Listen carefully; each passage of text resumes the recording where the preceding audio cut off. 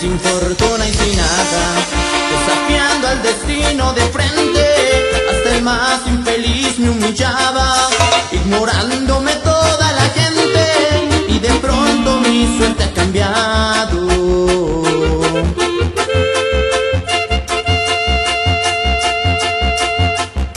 Y de pronto me vi entre gran gente.